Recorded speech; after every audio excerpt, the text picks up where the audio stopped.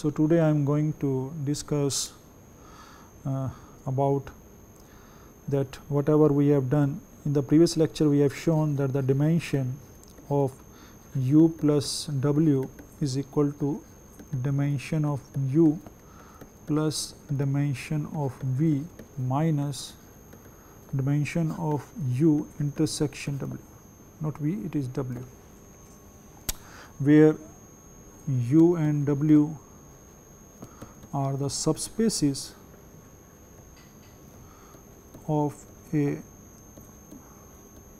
vector space V and V is a finite dimensional. So, suppose I take the dimension uh, or maybe I can say that V is a finite dimensional finite dimensional vector space. Now, from here I can say that if u intersection w is 0 just it contains the 0 element. From here we can say then I can write that the dimension of u direct sum it will become the direct sum then it will equal to the dimension of u plus dimension of w. So, for the direct sum we directly can write as dimension of u plus w is equal to dimension of u plus dimension of w. So, these things we can uh, write down for example, suppose I take the vector space V I take R 3. So, dimension of V is 3. So, let we take the subspace U. So, I just take the subspace and I take the subspace U as x y 0. So, all the element so, I can say that this is a xy plane. I can take the another subspace W that is 0 y z. So, I can say that the elements coming from y and z space. So, this is I just write y z belongs to real line and it is basically y z plane in fact I can also write here that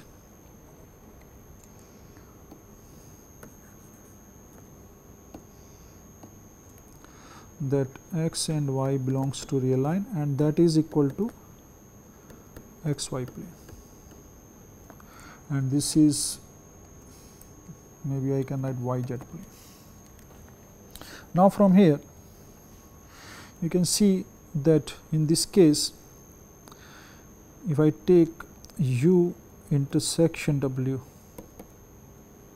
So, it will contain all the elements which has element coming from u. So, u is if it is u coming from u then it will contain the third coordinate 0 and if it is coming to w the first coordinate 0. So, it means if you take the u intersection w that will contain only all the elements that which has 0 y 0 where y belongs to real line. So, basically it is equal to a y axis. So, it contains all the elements lying on the y axis and we also know that the dimension of u is 2 dimension of w is also 2 and dimension of u intersection w is just the one line. So, it is 1. So, that is just y axis. So, from here you can see that the dimension of u is 2, 2 and 1. So, now from here I can write directly that the dimension of u plus w will be 2 plus 2 minus 1. So, that will be 3 and from here it says that since the dimension of u plus w is equal to the dimension of v which implies that u plus w is itself r cube and that is also true in this case because I am taking all the elements from xy plane and from yz plane. So, u plus w will contain all the bases of it because it is spanned by we know that that u plus w is spanned by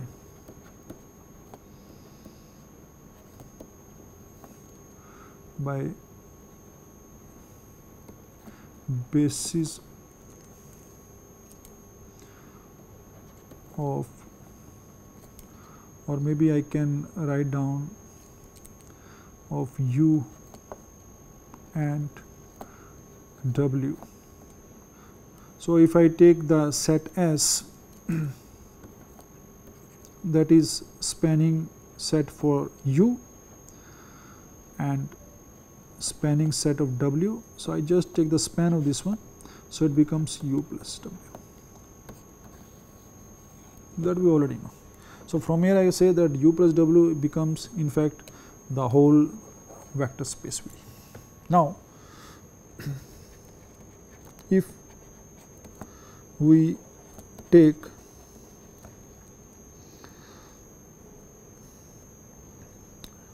W or maybe if we take another subspace S that is contain only z axis. Then if I take u plus so u intersection s. So then you from here you can see that u is just xy plane and s is a z axis so it will contain only 0 element. And from here I can say that the dimension of u intersection S will be 0 because it will contain only one element that is a 0 element. So, from here I can say that the dimension of u plus s is equal to 2 plus 1 that is equal to 3 because the dimension of s is just 1. So, from here I can write that this will be a direct sum. So, this one we, we can find out the dimension of a direct sum or it is not the direct sum then we can use this theorem. So, after this one we define the another terminology and that is called coordinates of a vector.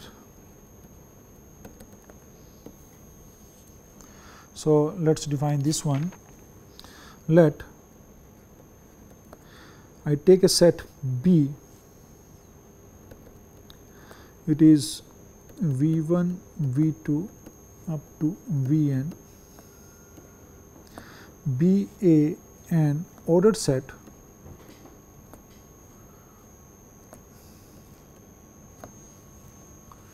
from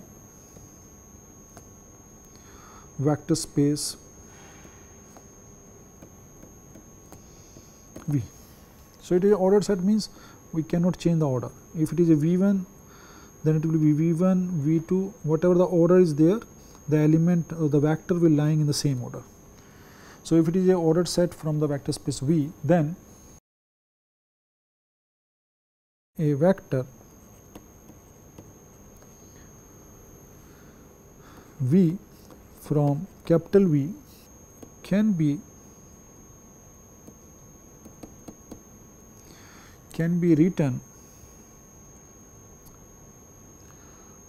as so now take V. So it is ordered set from the vector space V then a vector V. So it is not the ordered set I can say it is the ordered basis from vector space V, then any vector V from can be written as some alpha 1 V1 plus alpha 2 V2 plus alpha n Vn. So, now I have written the linear combination. Then then the vector that is alpha 1 alpha 2 alpha n is called the coordinates is, is called the coordinate of of a vector of vector v belongs to v with respect to basis B. So, from here I can write that I can write like this one. So, this one alpha 1 alpha 2 alpha n it can be written as uh, these coordinates of V related to the basis B. So, this is represented like this one. Now, so this is the way we can define. Now, if the coordinates if the coordinates of a vector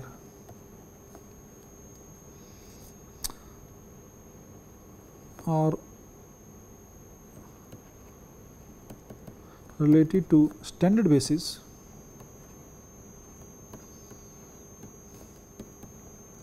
then it is called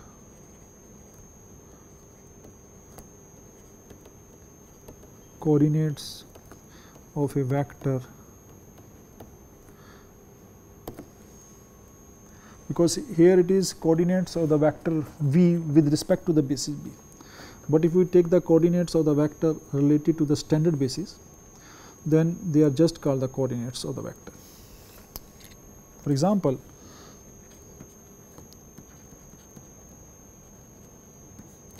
suppose I take the vector 2, 3, 4 minus 1 and that belongs to R 4. Now, we know that the standard basis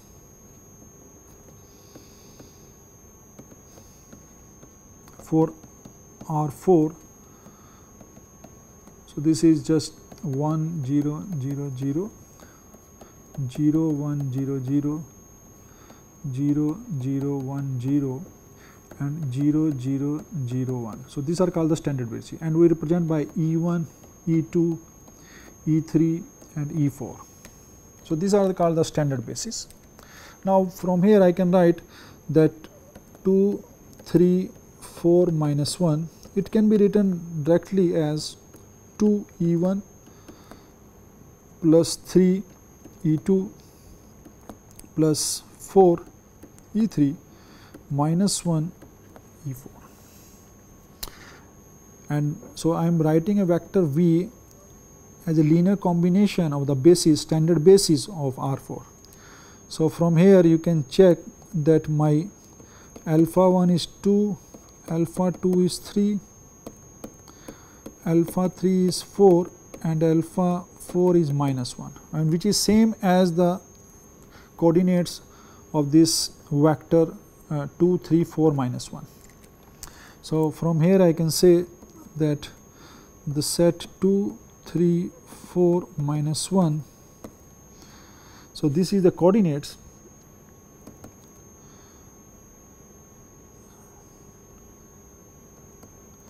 the coordinates of the vector 2 3 4 minus 1. So, this one I can write even because this vector belongs to R 4. So, this is the vector and its coordinates are this one. Okay, so, from here I can say or maybe I can say that so is the coordinate of the vector this. So, so I am writing like this one it means I am talking about the standard basis.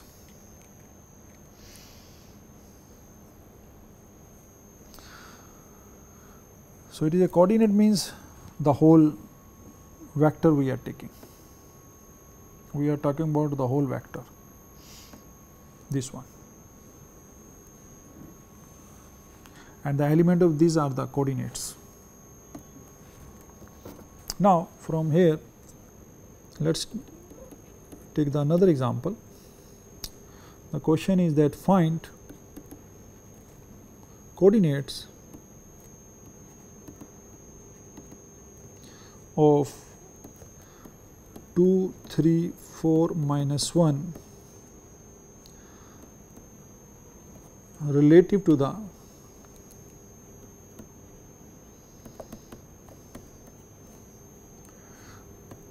to the ordered basis. So, here I am taking the basis. So, basis is 1 1 0 0 and then 0 1 1 0 0 0 1 1 and 1 0 0 0. So, these are the bases I am taking and we are talking about so this vector v is basically 2 3 4 minus 1 it is the same. So it belongs to r4 that we already know. So it is a basis of this one. So it means that these vectors are linearly independent and it spans the whole r4 so that is the basis. Now i need to write out find out the coordinates of this one related to the ordered basis. Now so for this one we need to write. So, to find the coordinates we need to write the vector 2 3 4 minus 1 as a linear combination. So, suppose I take here alpha 1 1 0 0 plus beta 0 1 1 0 gamma and delta where this alpha, beta, gamma, delta they are belongs to the scalar field. So, these are the uh, coming from the field basically. These are the scalar and coming from the field. So, I am taking this as a real numbers here. Now we need to find this alpha, beta, gamma, delta. So, because these are the coordinates of this vector related to the basis B. So, from here if you see it is a just linear combination. So, if I put a matrix and this vector as a column 0 1 1 0 0 0 1 1 and 1 0 0 0 and if I put here as alpha, beta, gamma, delta, this should be equal to 2, 3, 4 minus 1. So, it is a 4 cross 4 system. Now, in fact, here we cannot change the order. So, order means this is my first, second, third, fourth because if I change the order then this value of alpha, beta, gamma will also change. So, we cannot change the order because we know that if we uh, swap some columns of the given matrix then the result will be changed. So, now from here I will get this. So, this one we need to solve. So, it is a 4 by 4 system. So, you can check that this is equal to Ax is equal to B and we need to find the solution for this one. So, the best thing uh, for this one is to Uh, reduce this into the echelon form and then find the solution. So, for this one I will write the augmented matrix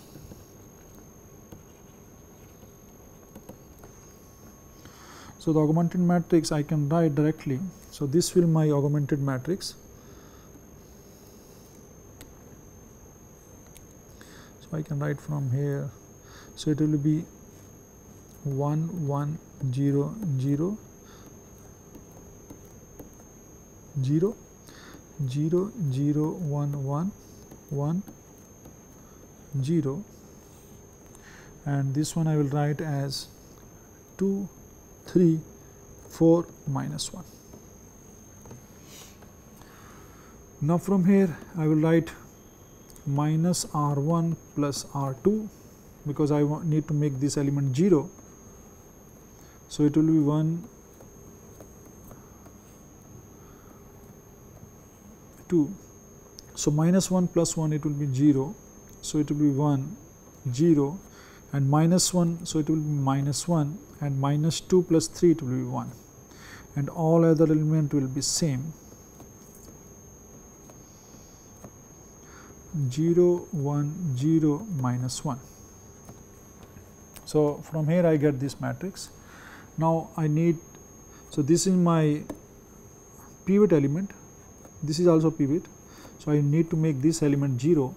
So, from here I will write minus R 2 plus R 3. So, it will be 1 2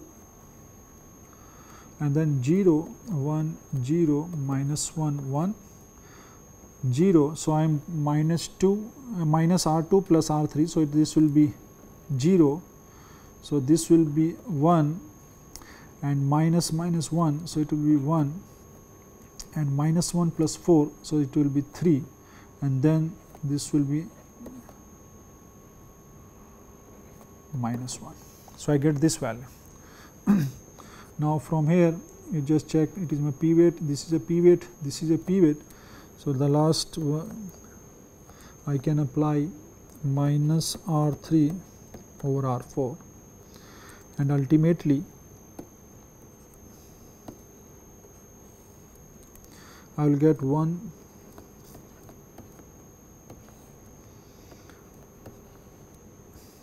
0 1 0 minus 1 1 0 0 1 1 3. So, it will be minus 1 plus 1 0 minus 1 and here it will be minus 1 and minus 3 plus minus 1 minus 4. Now, it is a echelon form and because it is a 4 cross 4 matrix. So, now from here, so this is my equal to u the row echelon form. So, from here I can directly I can write that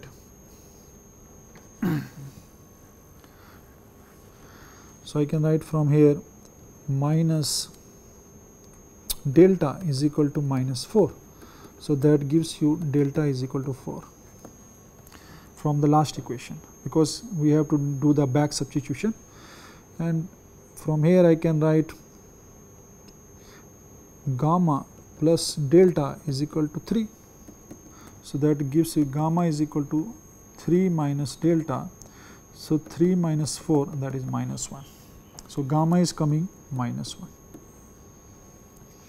Now, from the second last equation or the second equation it will be beta minus delta is equal to 1. So, that gives you beta is equal to 1 plus delta. So, it is 1 plus delta is 4. So, that is equal to 5 and from the first equation it is alpha minus delta is equal to 2. So, that gives me alpha is equal to 2 plus delta. So, it is 2 plus 4 that is equal to 6.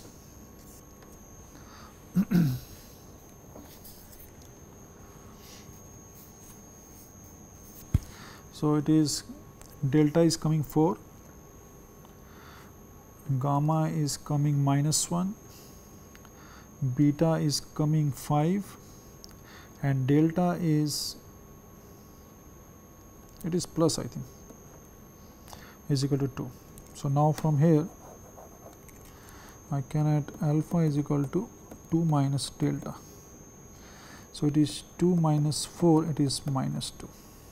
So, now from here all this we can from here I can write that the my coordinates. So, this is the coordinates minus 2 5 minus 1 4. So, now we can write that this is the coordinates of vector. So, the vector we have started with it is 2 3 4 2 3 4 minus 1 with respect to the basis B. So, this one I can write. So, these are the coordinates of this vector with respect to the basis B. So, that is minus 2, 5, minus 1, 4. So, this is the way we can find out the coordinates of any vector related to the given basis. So, that is one of the way we can define the basis. Now, so based on this one, I want to discuss one more important that how we can use the extension theorem to extend the basis. So, for this one I just want to do one important example. So, let suppose we have vector space P3x. So, that is set of all polynomials of degree less than equal to 3 and suppose x belongs to some interval i. So, so I take the vector space V as P3x and also I know that the dimension of V will be 4 because it is a polynomial of degree less than equal to 3. So, its dimension is 4 we know that. Now, let we have two subspaces of V. So, I take the first subspace U as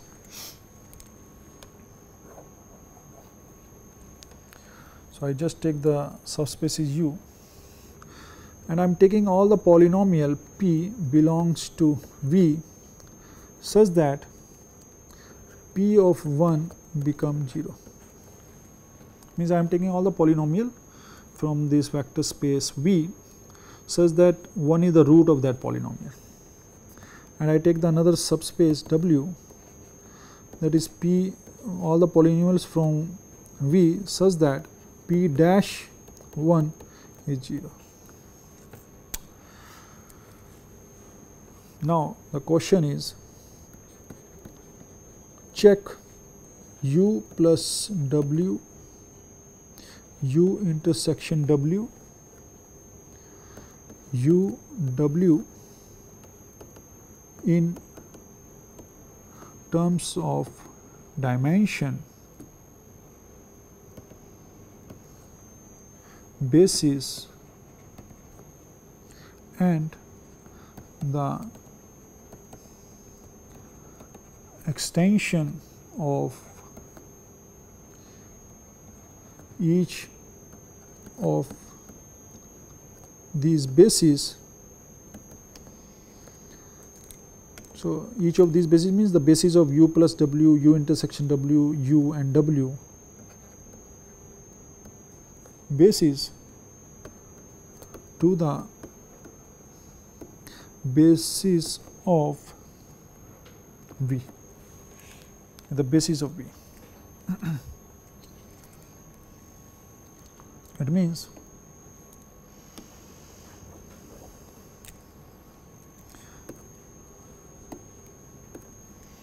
so to the basis of V. So, means first I to need to find out what are the bases of u plus w and u intersection w, u and w and then we have to write its dimension and then we should be able to extend these bases to the basis of V. So, that is the question.